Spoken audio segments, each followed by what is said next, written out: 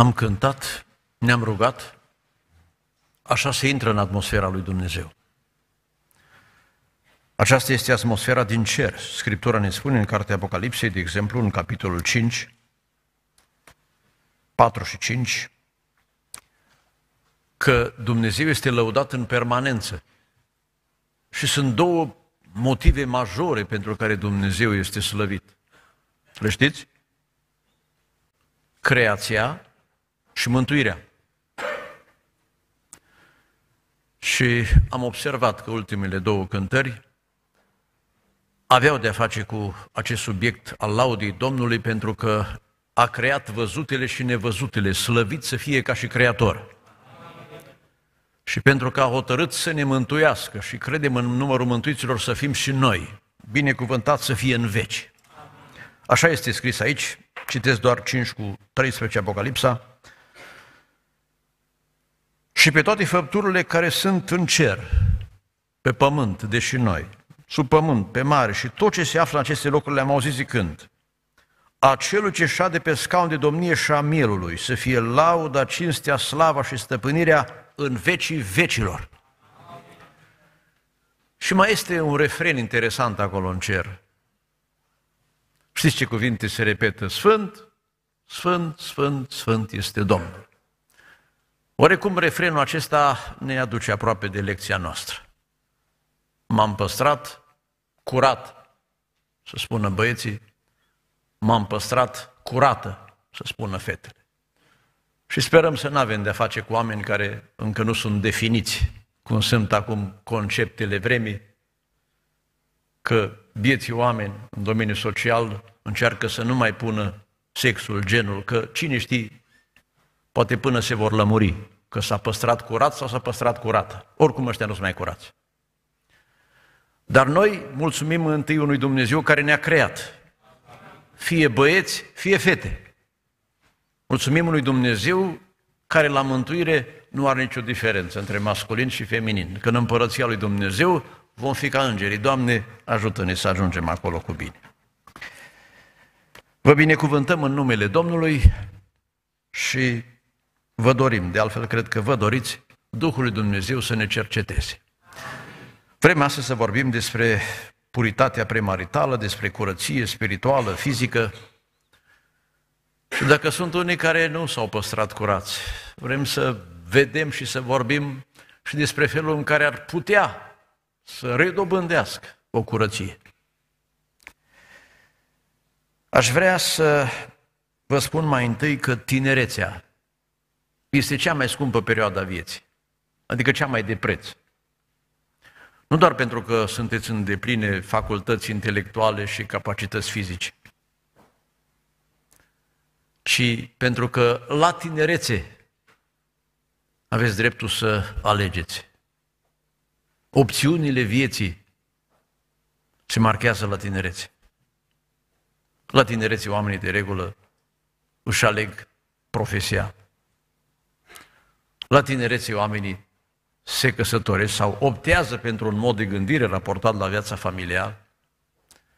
Și statisticile dovedesc că, de regulă, tot la tinerețe, ceea ce e mai important, oamenii aleg să slujească sau nu lui Dumnezeu. Din acest motiv, tinerețea este foarte, foarte importantă. Și nu uitați, tinerețea și zorile vieții sunt trecătoare. Vă amintiți cine spunea Scriptura? Am fost tânăr și am îmbătrânit. A mai zis cineva, eu sunt tânăr și voi sunteți bătrâni. Nu uitați că vorba asta nu puteți spune multă vreme, că tinerețea trece. Haideți să intrăm în subiect. Aș vrea mai întâi să vă arăt câteva beneficii în a vă motiva să vă păstrați curați. Sau altfel spus să vorbim despre importanța curăției premaritale. Într-o lume în care se permite aproape orice. Citeam că într-o statistică făcută în jurul anului 1900 în universitățile din Statele Unite, permisivitatea sexuală era de 3%. Adică erau unii care mai treceau de linia roșie. Un studiu asemănător în 2010 arăta că permisivitatea sexuală, luând în calcul același eșantion, era de 90%. Vă dați seama? Într-un secol încotro s-a deplasat masele. Este o presiune care apasă pe voi, nu doar uh, live, virtual cu atât mai mult. Însă, noi știm că operăm, suntem în biserică, nu doar cu forțe umane. Dumnezeu ne vine în ajutor. Omul nu este numai o entitate fizică și cu un computer, cu o filozofie în minte. Noi putem beneficia de aportul binecuvântat al Duhului lui Dumnezeu. Fie și astăzi prezent Duhul lui Dumnezeu aici. Așadar, importanța păstrării purității. În primul rând, este important să vă păstrați puritatea pentru a vă putea păstra relația cu Dumnezeu. De altfel, eu voiam să vă întreb încă de la început, când rostiți expresia m-am păstrat curat pentru cine? Am spune pentru un partener de viață, dar poate unii nu vă veți căsători, dar și cei ce vă veți căsători. Noi, ca tineri, ca oameni pe pământ, avem de-a face cu două legăminte. Voi trebuie să așteptați două nunți, una jos și una sus. Prima motivație în a te păstra curat trebuie să ia în calcul și nunta de sus, nu doar pe cea de jos. Pe un semn de carte ce îl veți primi și pe care puteți să-l folosiți în a vă motiva pe voi în a vă angaja la abstinență sexuală, la curăție, se face referire la versetele din 1 Corinteni, capitolul 6, de care aș vrea să ținem cont, ele au fost citite chiar de la început, le recitesc, versetul 19 și 20. Nu știți că trupul vostru este templul Duhului Sfânt? Deci mă păstrez curat în primul rând pentru că sunt templul lui Dumnezeu, pentru că îi port chipul, pentru că aspir să fiu o mireasă curată, fără fată, fără zbârcitură în ziua revenirii Domnului. Căci ați fost cumpărați cu un preț, proslăviți dar pe Dumnezeu în trupul și în Duhul vostru care sunt ale Lui Dumnezeu. Doamne, ajută! 2 Corinteni, capitolul 7, versetul 1, ne vorbește tot de o curăție care n-are de-a face numai cu perioada până la nuntă. De altfel și după aceea trebuie să rămânem tot curați. Și vorba de curăția până la venirea Domnului, 7 cu 1. Deci fiindcă avem astfel de făgăduințe, prea iubiților, să ne curățim de orice întinăciune a cărnii și a Duhului și să ne ducem sfințirea până la capăt. Și capătul e capătul capătului. În frică de Dumnezeu. Amin. Și țineți cont. Unii cred că te poți ascunde. Și de oameni s-ar putea să vă țină asta. Dar de Dumnezeu ne putem ascunde? Dumnezeu știe dacă suntem sau nu curați. Într-o familie, o fată și-a pierdut curăția și a vrut să scundă asta de soțul ei. Dar eu vă spun de la început, să nu trăiți cu iluzia asta că se poate păstra un asemenea secret o viață întreagă. Poate, vă veți ascunde și nu veți spune până la nuntă. La primul necaz o să vă mărturisiți chestiunea asta. Și o să fie mult mai neplăcut pentru voi, pentru partenerul de viață care își pierde încrederea și de fapt se va dovedi cine sunteți. Și în exemplu de care aminteam, apropo, apropo fac aici o mică paranteză, eu o să dau și anumite exemple, dar de fapt sunt segmente de exemple, în așa fel încât nimeni să nu se simtă ofensat, nici dacă ar fi vorba de vreunul din voi din sală. Ceea ce spun eu le, sunt exemple, doar repet, segmente cu scop pedagogic, nu povestesc eu viața nimănui aici. Și s-a încercat să se ascundă pierderea fecioriei, încadrând nunta într-o anumită perioadă a lunii, calendaristic vorbind. Pentru ca mirile să nu-și dea seama că ea nu-i fecioară. Numai că informația pe undeva s-a scurs și totul s-a descoperit. Că nu ține, dragii mei, să te ascunzi. că Dumnezeu, între altele, El care le cunoaște pe toate, a spus-o prin Fiul Său, că nu este nimic ascuns care nu va fi descoperit. S-a întâmplat undeva în zona regională Cluj. Mergeau doi oameni cu mașina. Și unul zice, hai să luăm și pe ăsta de la ocazie, pare mi că-l cunosc. Pacea Domnului, pacea Domnului.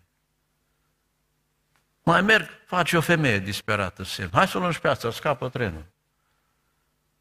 Și beata femeie zice către ăsta din spate, așa e că e greu să fii pocăit căzut. Mă, ăsta, întrucât se cunoștea cu cei doi din față și nu pricep ce vrei să spui. Dar beata femeie așa a fost cercetată de cântarea care mergea la aparat în mașină, încât a spus tot. Și ăștia din față au zis, băi, când vrea Dumnezeu să dea pe cineva în vileag, ne trimite pe noi, Pedro. Deci să nu încercați. Și să știți că, în primul rând, când vorbim de curăție, avem de face cu Dumnezeu. Un al doilea rând, un al doilea avantaj, beneficiu. Păstrează-te curat pentru a avea o ofertă întreagă la căsătorie. Să poți să alegi.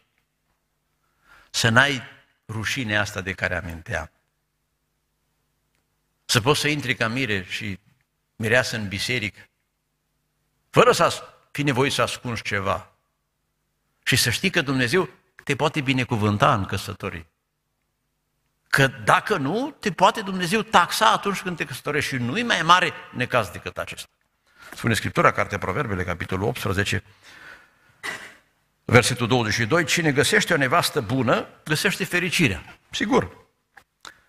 Dar asta este un har pe care îl capătă de la Domnul. 19 cu 14. O nevastă pricepută este un dar de la Domnul. 22 cu 14. Atenție! Gura curvelor este o groapă adâncă. Cel pe care vrea să-l pedepsească Domnul, acela cade în ea. Eclesiastul 7 cu 26. Și am găsit că mai amară decât moartea este femeia care inimă este o cursă și un laț, a cărei mâini sunt niște lanțuri. Și acum atenție cel plăcut lui Dumnezeu scapă de ea. Păstrându-te curat, plăcut lui Dumnezeu, ai șansa să nu greșești în căsătorie. Dar cel păcătos este prins de ea. Să nu credeți că a face o alegere bună are de a face cu orientarea voastră sau cu vreun mesaj profetic, în primul rând. Are de a face, în primul rând, cu curăția voastră. Dumnezeu să vă ajute. În al treilea rând, păstrați-vă curați pentru a vă putea bucura apoi de viața de familie, 30, 40, 50, 60 de ani, cât vă va da Dumnezeu harul și cât mai ține lumea aceasta. Spune Scriptura în Proverbe, capitolul 31, despre o femeie care s-a păstrat cinstită peste ani, versetul 28, fii ei se scoală și o numesc fericit. Dar prima întrebare pe subiect a fost versetul 10. Cine poate găsi o femeie cinstită? Femeie cinstită are harul în viață să nu-și poarte nenorocirile după ea.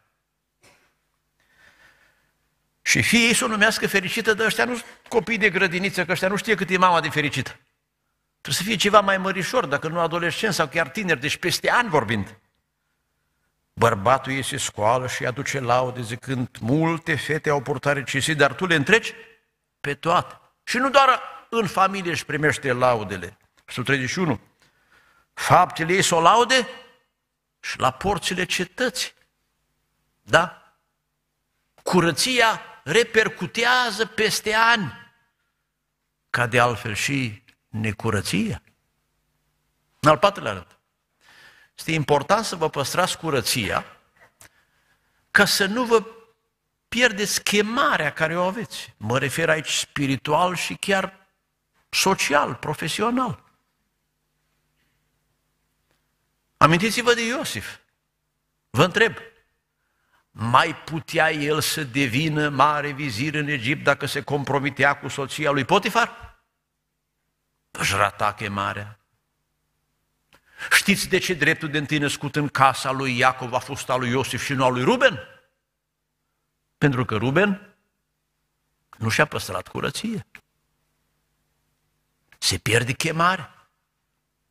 Și mai târziu ai de suferit, scrie aici în Proverbe 31, versetul 3, nu-ți da femeilor vlaga și dezmierdările tale celor ce pierd pe împărați, auzi. Îți poți pierde tronul. Da, vorba unui frate, a zis Irod, pentru un dans la Șciv, a spus că dă jumătate de împărăție, alții vieții o pierd toată. Cu harurile și darurile ce le-ar fi revenit. Nu-i tot una. Să ai cazierul curat sau să nu-l ai. În al cincilea rând, curăția este purtătoare, aducătoare de binecuvântări. Și în viață e important să nu trudești de dimineață până târziu, scriem Psalmul 27, și să-ți dea Dumnezeu pâinea mai ușor, dar asta înseamnă să ai o casă zidită împreună cu Dumnezeu. Spune Scriptura în Cartea Proverbe, capitolul 5, de la versetul 9. Ca nu cumva să-ți dai altora vlaga și unui om fără milă anii tăi, ca nu cumva niște străini să se sature de averea ta și să, tru, tu, să trudești pentru casa altuia. Mai amintesc că m-a abordat odată o familie, erau căsătoriți de mai mulți ani. Au început să plângă și între altele zicea ea, i-am promis mamei că îmi voi păstra curăția. Dar ne-a înșelat diavolul.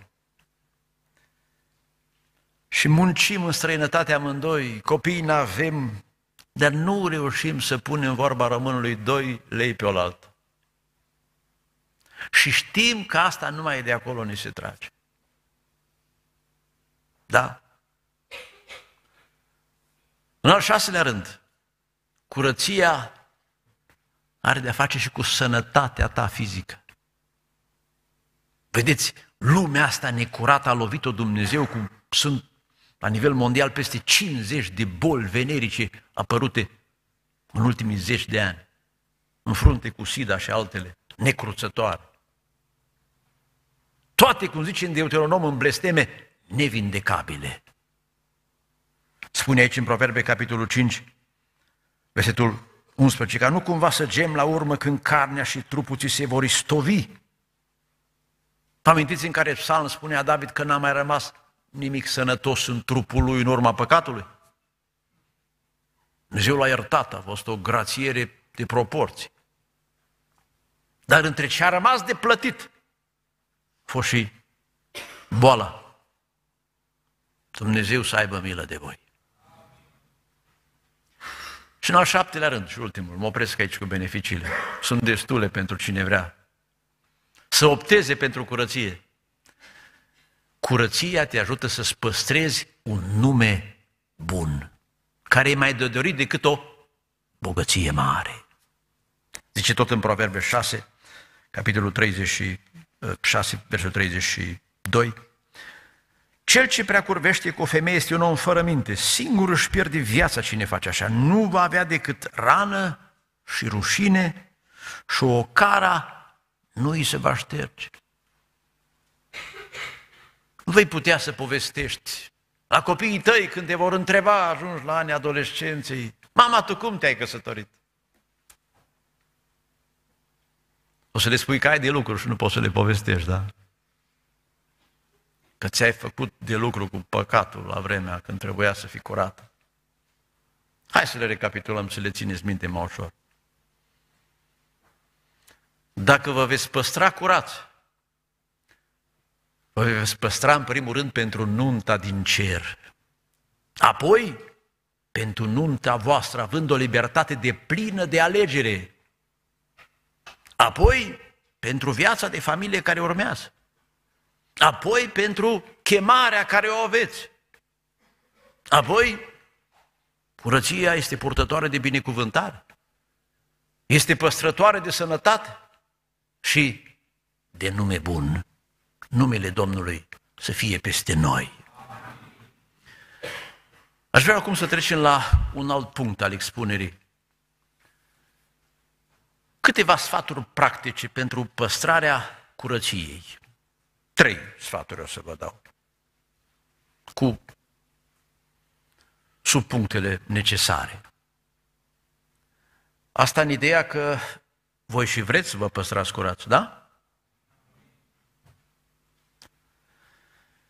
Primul sfat. Dobândește înțelepciunea Sfinților. Știți că păcatul este o nebunie? Și că oamenii când păcătuiesc, de prostuți păcătuiesc?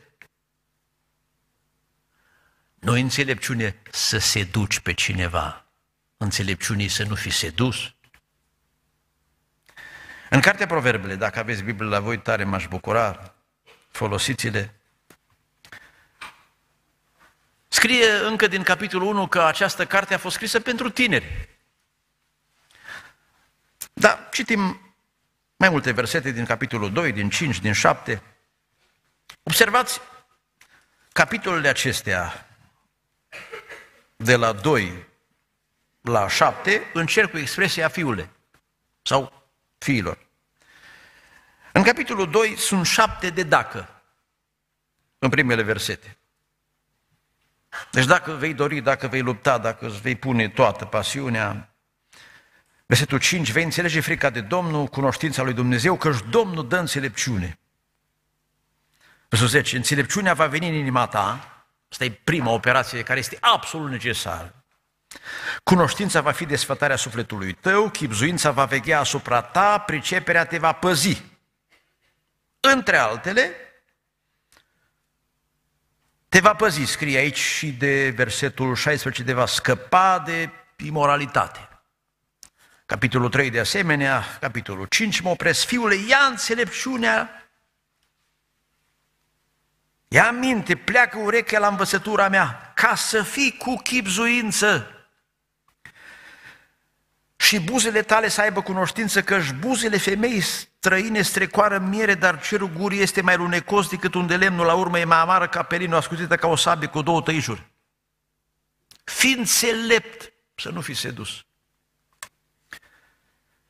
Același capitol scrie de la versetul 12, cum am putut eu să urăș certarea?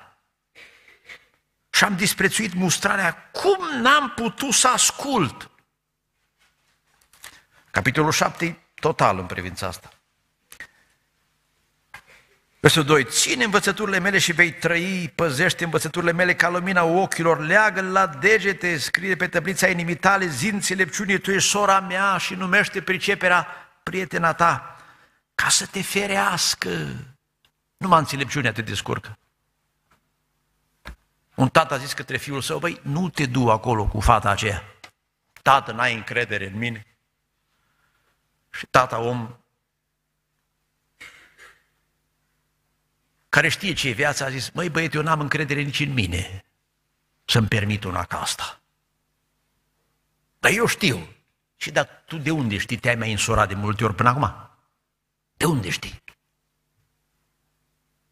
Voi n-aveți de unde să știți din vreo reîncarnare anterioară. N-aveți de unde să știți. Voi trebuie să vă lăsați învățați. Să vă împrieteniți cu înțelepciunea și să o lăsați să vă ia de mânuță. Să vă conducă pe cărările ei de lumină. Și aici avem o secvență interesantă, așa, un, un, un, un videoclip. Scrie de la versetul 6. Stăteam la fereastra casei mele și mă uitam printre zăbrele. Eu îmi imaginez aici un tânăr în fața computerului care este la rândul lui vizualizat de o cameră ascunsă. A deschis computerul, la o anumită pagină, trecea pe uliță, în colț unde stătea una din aceste străine. Și acolo un, indic, un indiciu, un link și ce face? Era Namur seara, în noaptea neagră și întunecoasă și iată că le-a regat înainte o femeie. Era bună de gură. Versetul 21, tot vorbindu-i la ademenit. De ce l-a ademenit? De ce a fost sedus? Femeia asta i-a făcut promisiuni romantice. Și apoi a strecurat la urmă uh, prețul. A zis, vezi că bărbatul e plecat de acasă cu sacul cu banii cu tot. Trebuie tu să plătești asta. Dragoste pe bani până dimineață. Bietul de el. Să putea însura pe gratis pe o viață. Dar pacostea aici a trecut în versetul 7. Am văzut printre tineri pe un băiat fără minte. Eu înțelepciune am ca locuință mintea. O, de v-am putea pune capul pe cântar. Asta e prima menire a unui tânăr să dobândească înțelepciune. Nu săriți direct la cântarea cântărilor, zăboviți la proverbe. Ați înțeles?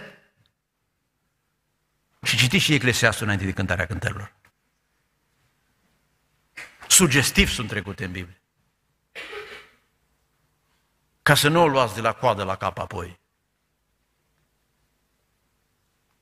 Dobândește înțelepciune. Să nu fi înșelat. Asta e tragedia. Când te uiți, câtă nepricepere. Nu gândesc nici până la colț. Dacă ai gândi ce urmează, să faci așa, un prospect, ți-ai dat seama. Dar de unde înțelepciune? Bine se spune aici, din cuvântul lui Dumnezeu. Gura Domnului e cea care rostește adevărata înțelepciune. Să ne luăm după societatea din jurul nostru? Este biată de cap. Nu știu încotro aleargă, nu știu ce au de făcut. Bunul Dumnezeu să vă cerceteze cu înțelepciune. În al doilea rând, un al doilea sfat. Trăiți în compania sfinților. Atenție la mediu, din nou, atât live cât și virtual. Prietenii voștri de pe Facebook uneori, sau prietenii voștri de la cafea și de prin locurile de pe unde umblați. Știați că prietenii vă făuresc viitorul?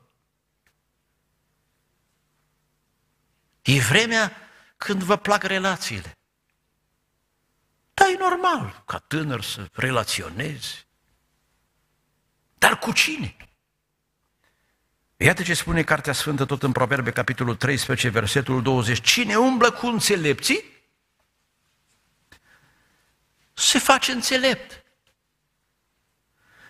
Și cui îi place că toată problema e dictată de plăcere, like-urile vă termină pe voi. Da, da. Cui îi place să se însoțească cu nebunii, o duce rău. Și unii o duc rău toată viața. De la însoțirile care le-au avut. Vă amintiți de bietul Amnon, fiul lui David, 2 Samuel 13? Spuneți-mi, vă rog, cine i-a dat sugestia păcătoasă? Prietenul lui era șiret. Și beata fată n-a priceput nici ea, pentru că atunci când a rămas numai cu el, trebuia să, când a zis să iasă toată lumea afară, trebuia să iasă și ea. Pe el l-a orbit păcatul într-un fel, pe ea n-a dus-o mintea în ceea ce revenea ei și uite, așa.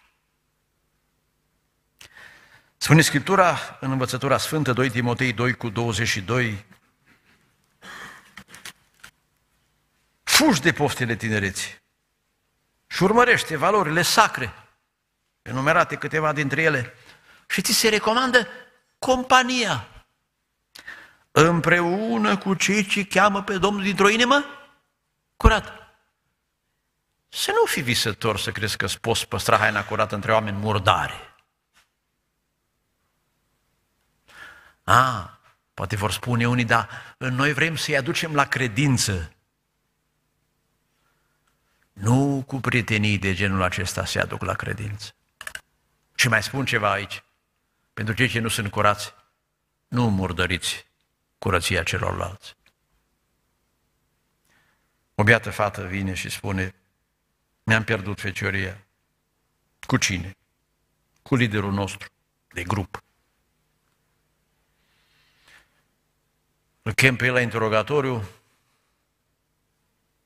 E prima fată la care e furfecioria? Nu. Ce o sândă te așteaptă pe tine.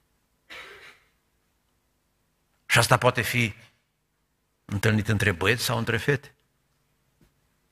Că un singur păcătos nimicește mult bine. De aceea spune Scriptura 1 Corinteni, capitolul 5, dacă detectați între voi că unul nu-i curat, sau una, nu mai luați cu voi în grupul de laudă și de misiune. Îl luăm cu noi și îl ducem aici la adunare, să se pocăiască în contextul frățietății. Dar nu ne întâlnim noi pe la părtășii cu vreunul din același pe care scrie în 2 Petru, capitolul 2, că îi scapă ochii la preacurvie.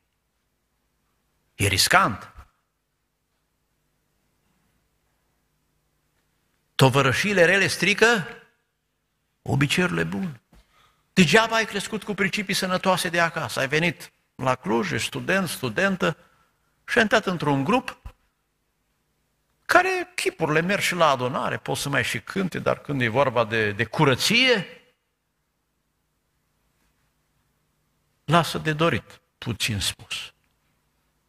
Fiți atenți la relațiile voastre. Excludeți din lista voastră pe cei ce nu sunt serioși. Să le fie rușine, spune Scriptura. Să știe că ne disociem de acțiunile lor și să nu le creăm impresia că ei sunt de fapt ok, sunt cu noi, laudă pe Domnul. Da, de unde? Lumina poate să stea împreună cu Dunericul. Nu se poate. Ce legătură sunt Hristos și Belial, cel credincios cu cel necredincios, 2 Corinteni 6 de la 14. Despărțiți-vă de ei, spune acolo apostolul finalul, capitolul 17 și 18. Și voi fi fii și fici. Principiul separării pe bază de principii de sfințire, de moralitate, este foarte important. Găsiți-vă plăcerea, cum spune David în Psalmul 16, sfinții care sunt în țară, oamenii evlavioși sunt toată plăcerea mea. Ați înțeles și asta? Deci, în primul rând, dobândiți înțelepciunea sfinților. În al doilea rând, trăiți în compania sfinților. Mulțumim Domnului că avem adunări. Dragii mei, eu am crescut singur în comună pocăit. Părinții mei au fost primii care s-au pocăit. În școală eram singurul pocăit. Mergeam la biserică într-o altă comună, acolo eram câțiva. Mulțumim Domnului că în vremea noastră aveți cu cine vă împrieteni. Sunt oameni credincioși. Și Dumnezeu să-i sfințească și pe ceilalți, să se îndure de ei. În al treilea rând, acceptă standardul biblic al Sfințeniei. Acceptă-l pentru viața ta. Lansez aici o provocare. Eu asta am mai spus. Dacă cineva îmi poate dovedi, biblic, că poate să existe o prietenie între un băiat și o fată, îi fac cadou o Biblie aurită. Până acum n-am băgat mâna în buzunar. Repet, dacă prin vreo referință sau prin vreun exemplu biblic îmi puteți dovedi, avem pauză la îndemână, că poate să existe o prietenie între un băiat și o fată, vă dau că ziceți. Dar din nefericire, așa ne-am îndepărtat uneori de standardele biblice, încât și terminologia și practicile ne sunt afectate. Știți statistic cam de când a început sistemul acesta cu prieteniile? De mai puțin de 100 de ani. Știți statistic care raportul sau relația directă între practica prieteniilor și rata de divorțuri? Direct proporțional. Nu vă voi lăsa în ceață, ca să nu spuneți, dacă nu așa, cum ne vom mai căsători? Citeam anul trecut despre un studiu sociologic, efectuat nu pe baze biblice, doar așa, date empirice între oameni. Nu poate fi o prietenie între un băiat și o fată care să nu implice sentimentele. Asta scrie în Biblie. Dar eu au făcut studiu de piață ca să-și dea seama. Într-o biserică, o fată se duce la păstor și spune Sâmbătă avem logodna, să veniți la noi. Nu vin eu sâmbătă la logodnă, veniți voi luni la comitet. Dar noi am programat-o. Ați programat-o fără mine. Puteți să o țineți. Pentru că păstorul a avut nevoie de date actualizate. Și a aflat că băiatul plecat din țară, fata două vacanțe a stat la el, în aceeași clădire. Și vine mama fetei să justifice, fata mea e curată. Și dacă două vere au stat în aceeași clădire și ai curat, înseamnă că cel puțin unul din ei nu-i sănătos.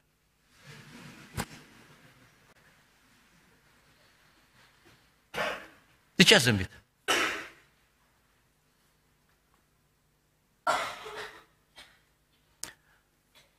Standardele biblice ale Sfințeniei sunt singurele care ne păstrează curați. Citeam o vorbă înțeleaptă pe un site ortodox.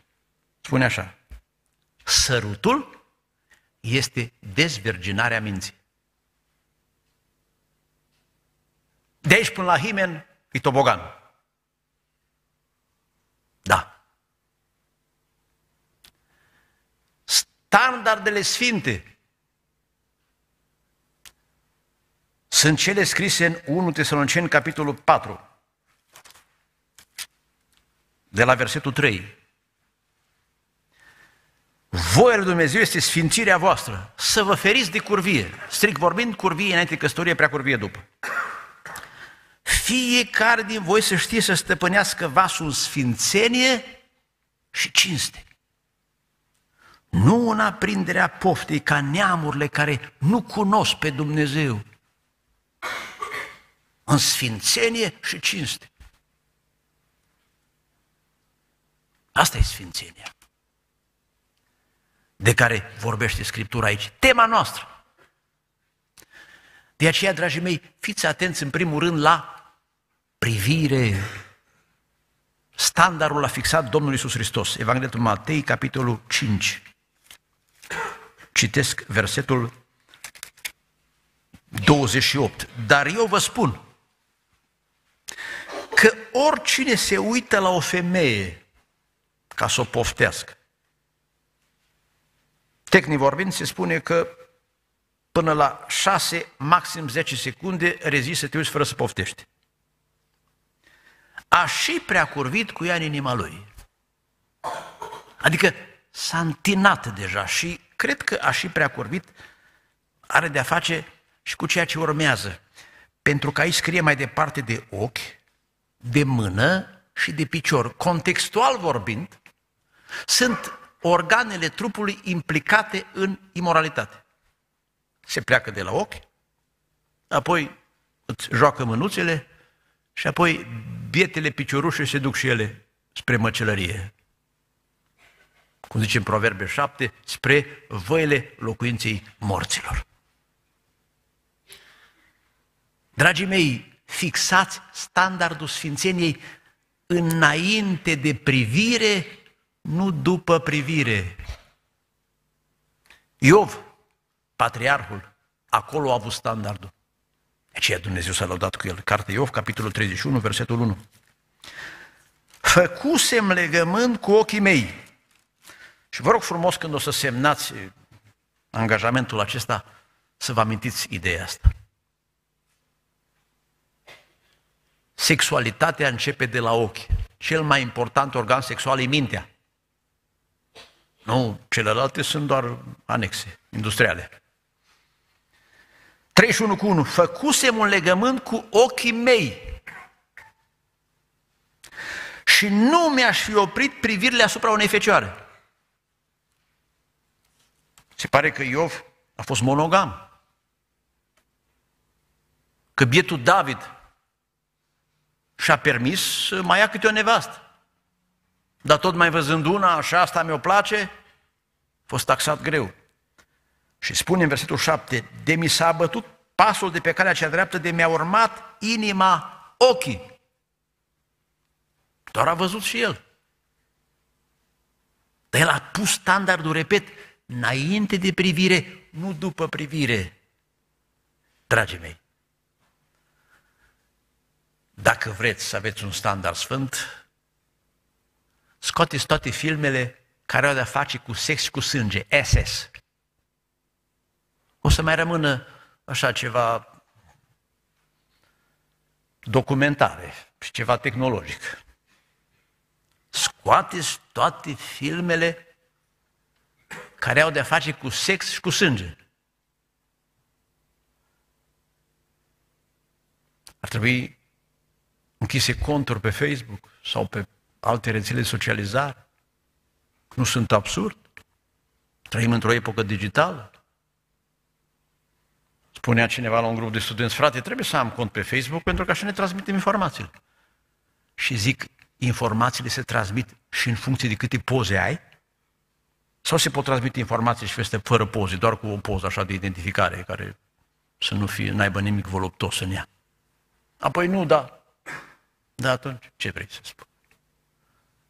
Nu, frate, că eu nu mă uit la nimic din ce e păcătos. Nu? Zi după mine. Să nu văd eu raiul de am văzut. Am că nu zic. Atunci ce îmi pui povești?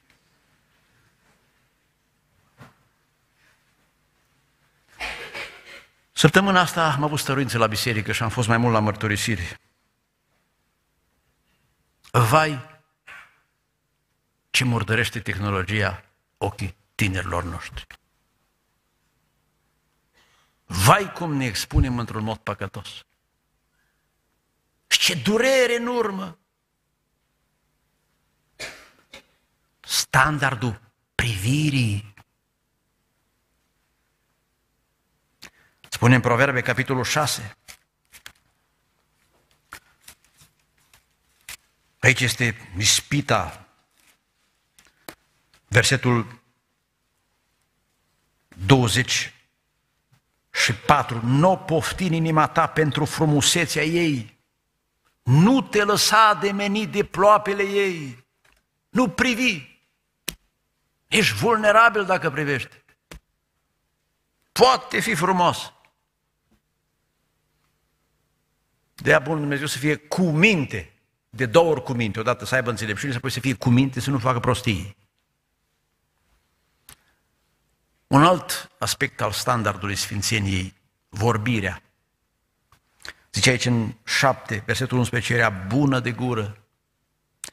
Versetul 21, tot vorbindu-i la ademenit, capitolul 5, versetul 3, buzele femeii străine strecoară miere, guru, cerul gurii este mai luminos decât un de lemnul.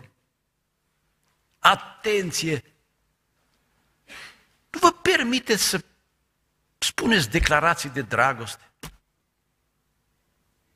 Așa s-a ieftinit piața. Mă sună o beată tânără și spune, frate, a venit unul din afară și în 24 de ore a ajuns la masturbări reciproce. De ce sunteți animale? Păi ne-am permis cuvinte că așa se ajunge. Evident că va trebui să vorbiți, apropo că am spus că prieteniile nu sunt legitime. Dacă vrem să vorbim, avem ce să vorbim, să ne punem de acord doctrina. Capitol foarte important. Acum am întâlnit uh, într-o țară în Europa, o tânără mi-a prezentat, unul era cetățean al acelei țări uh, și nu era român de origine, ne căsătorim. Zic, din ce biserică face parte? Parcă am fost inspirat să întreb. Zice, el e din altă denominație, diferită mult de a noastră. Zic, dar v-a spus la punct crezurile? Nu! Dar nu te-ați fixat-o? Da! Dar ne iubim! Zic, că a spus carul înaintea boilor. Din fericire, nu s-au căsătorit totuși. Am reușit să-i speriu.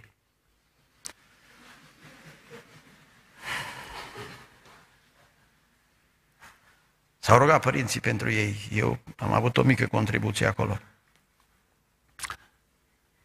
Nu vă permiteți să vorbiți într-un mod care să stârnească poftele celuilalt. Nu, nu fiți ușori în declarații de dragoste, în apreciere. Lăsați cântarea cântărilor pentru după nuntă. Și apoi puteți face studiu pe ea multă vreme. Un alt aspect al standardului Sfințeniei, îmbrăcăminte. Zice aici în Proverbe, pe capitolul 7, că el a legat înainte o femeie îmbrăcată ca o curvă. Este cunoscut faptul că îmbrăcămintea, în mod special cea feminină, este provocatoare, dar și cea masculină nu neapărat face excepții.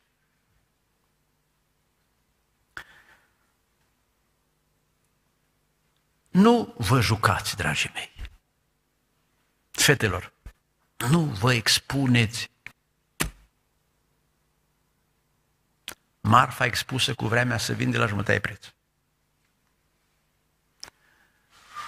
Trupul pentru Domnul s-a citit în 1 Corinteni 6. Eu mai folosesc și următoarea imagine.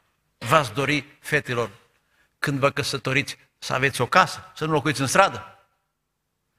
Dar ușa la casă v-ați dori? Sau vreți să vadă din stradă? Dar măcar la dormitor v-ați dori ușă. Dar atunci cum se face? Că se vede pe stradă și în locuri publice ar trebui să vadă în dormitor. Nu-i mai de preț trupul nostru decât casa fizică? Pentru soți și o să păstrați. Nudismul explodează în lume. Citeam la München, doar știți că e la poalele Alpilor. Deja s-a constituit un al treilea parc pentru nudiști. Auzi, nu le destul la mare. O societate care așa a nebunit ca nebunul ăla din Evanghelie ce nu putea sta îmbrăcat. Eu știu că nu se ajunge dintr-o dată acolo. Dar se tot taie din haine, se tot sluțesc. Păstrați-vă demnitatea. Eram undeva într-o țară în Europa și bine o beată, o beată fată plângând, frate, am căzut victimă căzut în păcat, avea o fustă mini, tot cu o mână se ștergea la ochi, cealaltă întingea de fustă, zic, acum stai liniștit.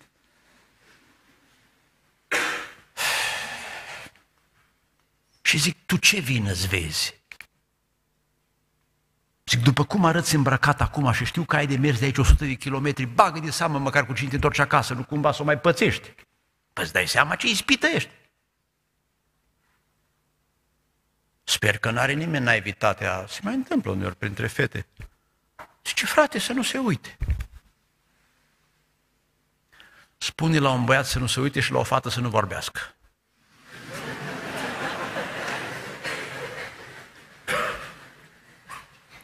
Și ai reușit o mare minune.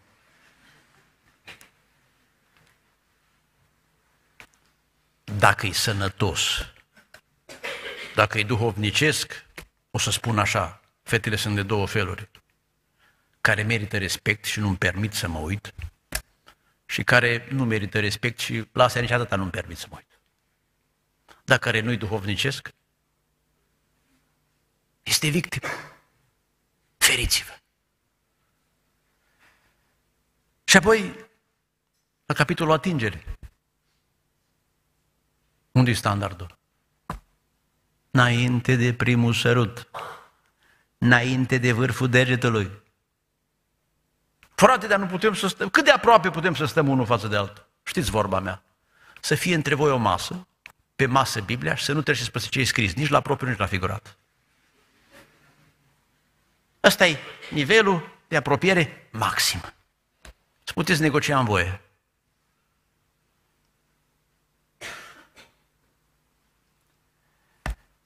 Este un site de consiliere pe dragoste pentru adevăr Și îmi scrie cineva de la capătul pământului zilele astea. Frate, m-am păstrat curat. Am întâlnit cu o fată, am înțeles că voia Domnului să fiu împreună. Dar ne-am permis săruturi, atingeri. E toboganul. Așa ne simțim de murdare acum. Nu putem să mergem la cină. Și așa mi-a venit și am scris.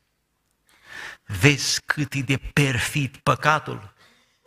Îți fură bucuria zâmbind. Da, îți fură bucuria zâmbind. Își bate joc de tine. Că uneori voi nu vă păstrați curați tocmai în relație cu cei pentru care ar trebui să vă păstrați curați. Ați reținut? Și vă murdăriți unul pe celălalt. Vine o beată fată la consiliere și spune, uite, mi-am permis cu un băiat. Păi ce v-ați permis? Mi-am permis una alta. O trecut o vreme, plecat din țară, vin înapoi. Dacă tot ne căsătorim, dacă îl iubesc, să, atunci înseamnă că îl las. Când vreun băiat îți spune, lasă-mă să te îmbrățișez, să te sărut, că altfel tu nu-mi dovedești că mă iubești, atunci să-i spui, acum sunt sigură că tu nu mă iubești. Adică tu vrei să mă iubești ca să-mi fur bucuria de la nuntă? Să-mi afectezi relația mea cu Domnul?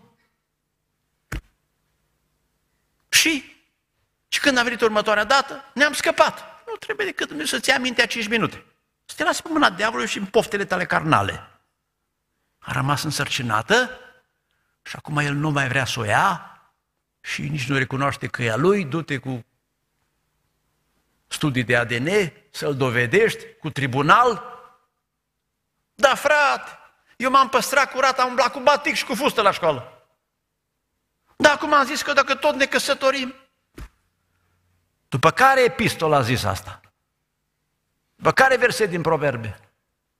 După mintea noastră, nu?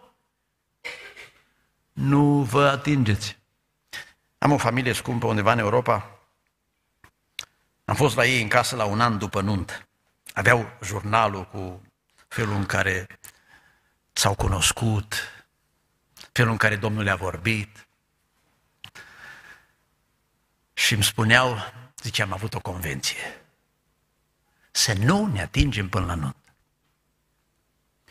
Zice el, frate, acum spun ca la un duhovnic, așa îmi venea uneori să o iau în brațe. Și ce de două ori mi-a spus, nu mă atinge. La care a zice, da, frate, acum lasă-mă să mă mărturisesc și eu. Și și mie mi-a venit toată să-l strâng în brațe. Și și mi-amintesc ca forândul lui și s-a grăbit să spună, nu mă atinge. Și zice, primul sărut ni l-am dat, eram undeva la masă și ne-am dus să mă aducem ceva prăjituri. Și ne-am mai îndulcit atunci, zice. Așa frumos priveau în urmă. Am avut o experiență undeva în nordul țării. Zice un frate primar către mine, și astăzi am avut o experiență inedită. Și era primar în al treilea mandat și cât am cununat și după ce am cununat, s-au încheiat procedurile, am zis, acum faceți pe față ce ați făcut pe ascuns. Și să uite la el, ce? Sărutați-vă! Și amândoi parcă așa, cu repetiții, știi? Și noi nu ne-am sărutat niciodată. Zice, pe moment m-am bălbuit. Sărutați-vă. Și s-au sărutat așa frumos, oficial, pe față. Fie asta și povestea voastră. Dar pentru asta păstrați-vă curăția prin autocontrol. Dumnezeu să vă ajute. Fiți hotărâți, dragii mei. Mai avem un capitol pentru cei ce au fost afectați, să vedem ce facem și cu ei, ce, fapt ce face Dumnezeu. Deci nu uitați, dobândiți înțelepciunea Sfinților. E o chestiune de mentalitate. E filozofia care îți va coordona gândirea, viața. Doi, trăiți în compania, accentuez, Sfinților. Și trei, acceptați standardul Sfințeniei biblice. Altfel, mi-amintesc că am citit o carte, am survolat-o de fapt, o autoare americană și adresa fetelor, că le spunea, când ieșiți cu băieții în oraș, vedeți, să nu le permiteți prea multe. Și mă gândeam, o, cu minte fi fost de ea, ai fi scris, scurt, să nu iasă cu băieții în oraș. Da, dacă fixăm noi standarde, astea nu stăvilesc păcatul. Lăsa standardul unde l-a fixat Dumnezeu. Înainte de privire, înainte de atingeri, cu îmbrăcăminte decentă și nu o să ai probleme. Și ultimul punct. Sfaturi pentru recuperarea curăției. Ce mai putem face pentru cei ce și-au permis săruturi, atingeri, vizualizări, pornografia face ravagii sau chiar au ajuns la acte sexuale. În primul rând, mărturisește-ți păcatul. Orice păcat ascuns pe pământ este un dosar deschis în cer. Vrei să se închide dosarul în cer? Mărturisește. E rușinos? Păcatul e rușine. Dar găsește cel mai demn slujitor pe care îl vezi. Părinții tăi, cine crezi? Du-te, descarcă sufletul și spune exact ce ești, cum ești, cum și-a înșelat diavolul. Spune în cartea Proverbele, dacă tot am folosit această carte 28 cu versetul 13, cine se ascunde fără de legile nu propășește. V-am spus de la început, nu poți să ții ascuns o viață întreagă. Scoateți pe iluzia asta din cap. Îmi vine în minte cazul unei fete, bine 19 asta a păcălit-o băiatul cum că se căsătoresc, apoi chipurile că a avut o prorocie n-a mai luat-o, peste câțiva ani, după plâns, Dumnezeu a rânduit un băiat și o întreb, i-ai spus povestea ta? Păi nu i-am spus, dar când vrei să o spui? Păi vreau să nu i-o spun. N-ai cum să nu i-o spui. Nu poți tănui o viață întreagă. Trebuie să știe pe cine cumpără. Cine ești? Evident că nu recomandăm să se spună cu detalii și cu tot ce a fost în jurul păcatului. Dar nu poți să spui că ești fecioară când nu ești fecioară. Nu poți să spui că n-ai avut niciun prieten când tu, de fapt, te au mai mulți în lista lor de păcate. Mărturisește-ți păcatul. Dar știi când a trebuit să-l mărturisești? Vine în minte un caz Undeva s-a întâmplat o tragedie, cum am spus, nu spun numai segmente. Vine fata aia terminată și spune, îmi pun și eu capă zilelor. Zic, dar când am trecut eu pe la voi în urmă cu vreo trei luni, în ce etapă, în ce fază era păcatul ăsta? Era doar în fază de concept. Nu se ajunsese în fapt. De ce nu mi-ai spus atunci? Am avut un gând să mă mărturisesc. Când l-a provocat Dumnezeu pe Cain să se mărturisească? Când a avut numai în gând să-l omoare pe Abel. Bine era de spunea. L-a întrebat Cain de ce e supărat. Oh, fii atent că păcatul pândește. Spune în prima fază ce te bântuie. Când a chemat Amnon pe David să-i spună să vină Tamar, trebuia să-i spună tata, mă chine Duhul de curvie. A zis că e dragoste. Ce dragoste? Că după primul act sexual a fugărit-o. A fost poftă, păcătoasă, poftă necurată, nu dragoste. Nu i-a spus. Mai trăi doi ani cu coșmarul și a murit. Într-o zi de ospăț, dar nu era ospățul nunții lui. Da. Mărturisește-te. Mai bine se simte eliberat, că altfel stai cu o povară, spune David Psalmul 32, câte vreme am tăcut, nu ești liniștit. N-ai pace. Așa ne-a creat Dumnezeu. Nu vă temeți că alții vor divulga mărturisirea voastră. Voi veți fi cei ce veți divulga mărturisirea când vă vor apuca stările de urmare a păcatului. După mărturisire, punctul 2, acceptați consecințele disciplinării. Evrei, capitolul 12. Versetul 4. Voi nu v-ați împotrivit încă până la sânge lupta împotriva păcatului și ați pierdut bătălia. Ați uitat sfatul pe care vi-l dă ca unor fii. Fiule, nu disprețui pedeapsa Domnului și nu-ți pierde inima când ești mustrat de El, că Domnul pedepsește pe cine îl iubește și bate cu neaua pe orice fiu pe care le primește. Suferiți pedeapsa. Și s-ar putea să vină o boală, să vină o pagubă, să-ți porți rușinea, să se întârzie vremea căsătoriei. Poate scap numai cu zdrobirea ta. Vă spun aici, aș spune un secret biblic.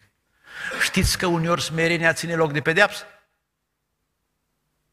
Zdrobiți-vă înaintea Domnului. Ahab când s-a smerit Dumnezeu a amânat pedeapsa, a diminuat Nu stați cu fruntea sus.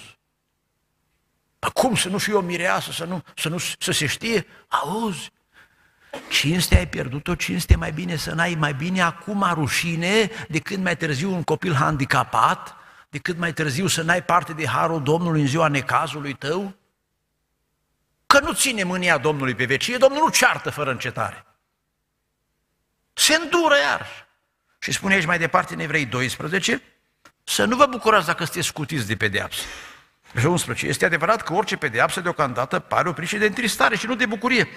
Dar mai pe urmă, a duce celor ce au trecut prin școala ei și o numesc asta școala de corecție a lui Dumnezeu, roada dătătoare de pace a neprihănirii. Adică Dumnezeu îți dă harul să devii curat, binecuvântat să fie numele. Da, asta e vestea bună pentru unii care s-au murdărit. Nu neapărat nu trec eu așa cu buretele peste orice. Fiecare caz este particular și necesită tratamentul necesar. Dar nu cumva se șoptească cuiva diavolului, dacă tot nu m-am păstrat curat, acum măcar îmi dau drumul. Nu, nu, nu. Oprește-te în faza în care ești, vină la Domnul cu mărturisire, suportă consecințele, o vreme nu te mai sui la cor, nu mai cânți, stai acolo, te vor întreba ce ai, trebuie să spui tu la toți ce ai. Ai spus la cine trebuie ce ai. Da, suportă consecințele, nu sluji mai departe așa. Nu-ți permite una ca asta. Nu vină la cina Domnului. Scrie acolo că dacă luăm cina Domnului chip nevrednic, asta se poate solda cu pedepse, chiar cu moarte. Domnul să aibă milă de cei ce au păcătuit. Trei, ultimul sfat. Schimbă-ți stilul de viață, prietenii. Adoptă ceea ce vorbeam înainte, standardul Sfințeniei Biblice. Spune Scriptura în Proverbe, capitolul 6,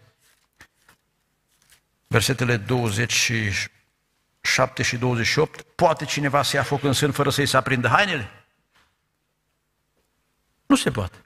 Dacă vrei să scapi, s-am spus, termină cu filmele, ieși afară de pe socializările tale păcătoase, gata cu localurile unde te-ai dus, poate merge cineva pe cărbune aprins fără să ardă picioarele? Gata cu mersul la mare și cu distracții păcătoase? Schimbă stilul de viață. Proverbe, capitolul 5. Versetul 7, și acum fiilor, ascultați-mă, nu vă abateți de la cuvintele gurii mele, depărteați de drumul care duce la ea, nu te apropia de ușa casei ei. Gata. Schimbă stilul de viață. Fugi de poftele tinereții. Alte prietenii. Alt mod de viață. Altfel, n-ai cum să scapi. Poți să fii regele David, psalmist să fii. Dacă tu te uiți la cele de la plajă, cine a fost mai vinovat, Batșeba sau David? Hm? Fetelor, cine a fost mai vinovat, Batșeba sau David? Voi trebuie să știți că Batșeba. Că ea s-a expus prima. Voi trebuie să știți că David, că trebuie să fii bărbat, responsabil. Dacă mergi la plimbări păcătoase, Ăsta e traseul păcatului. Ispita, femeia, păcatul și bărbatul. Diavolul vrea să ne prindă în acest curs tragic. Schimbă-ți totalmente stilul de viață. Adesea sunt abordat, cum vă spuneam, pe internet, frate, ce să scap? Ce să fac să scap? Nu pot scăpa de pornografie, nu pot scăpa de masturbare, nu pot scăpa de aceste relații. Și de regulă întreb, tu vrei să te pocăiești pe de-a întregul sau vrei să scapi doar de asta? Biblia nu are soluții la jumătate de preț. 2 Cronici 16 cu 9. Dumnezeu se uită din cer și sprijinește numai pe aceea cu inima care este întreagă a Lui. Vrei să scapi și să fii curat? Atunci dă viața Domnului în întregime. Într-o lume profund senzuală, noi putem să trăim curați. Și dacă până la un moment dat, să spunem ziua de astăzi, n-ați fost curați. Dumnezeu vă poate ajuta de astăzi să trăiți sfinți. Dar nu în condițiile de viață care voi le alegeți, în condițiile prestabilite de Dumnezeu. Nu poți fără rugăciune, fără post, fără adunare, fără citit Biblia. Nu poți să fii sfânt și cu filme și cu sport și cu distracții păcătoase, cu glume proaste. Nu se poate. Vrei să scapi? Vină la lumină. Și spunea Domnul că oamenii nu vin la lumină pentru că încă le place ceva din întuneric. Cum am spus cândva la o familie, când nu erau computere. Măi, dați televizorul afară că vă nenorociște. Și spune un băiat, zice, auzi, nu le mai spune la tata și la mama să da televizorul afară că se supără pe dumneata. Dar zic, de ce? Spui o frate de ce nu vor să-l dea afară. La tata îi place fotbalul, mie boxul și la mama patinajul. Păi așa spuneți, băi, pe nume. Știu și eu. Nu încercați să spuneți, știi frate, pentru știri. Știți care e regimul știrilor? Reporterii au două griji. Să adună toate informații, să publice pe cele rele. Așa pentru noi? Ne parvin ele, involuntar, spunem Psalmul 12, că dacă de teme de Domnul, nu ne teme și de vejrele. Dragii mei, vă recomand să trăiți o viață sfântă. Și ca să nu vă fiu dator,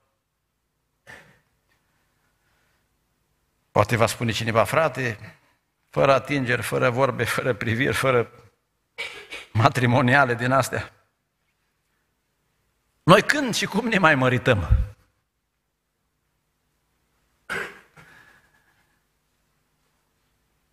Într-o biserică era o fată care a ajuns la 29 de ani și spunea unii, tu n-ai cum să te mai măriți.